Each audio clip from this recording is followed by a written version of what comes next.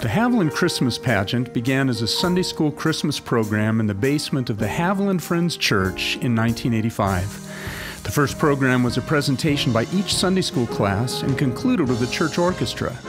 Throughout the program, at different intervals, Mary and Joseph, the shepherds, and the wise men made their way through the audience to the manger, which was on a small stage at one end of the basement. Cubicles were positioned along the way to provide makeshift inns where Joseph could stop and inquire about lodging.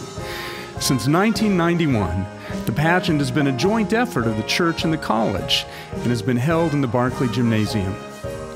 The current version of the pageant includes a full choir, drama, music, and animals ranging from small birds and a sheep to a donkey, a horse, and three camels for the wise men to ride on.